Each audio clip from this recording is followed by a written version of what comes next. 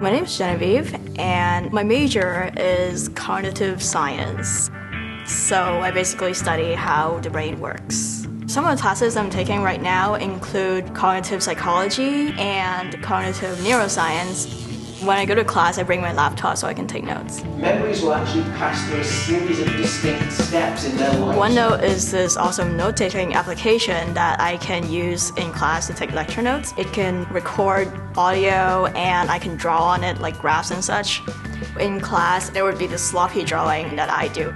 But to make it cleaner, I would go on the internet and find images and use screen clippings and put that into my notes to replace my drawings. And if I wanted to, I could share my OneNote file with my study group partners. They could add to it and just send it back to me.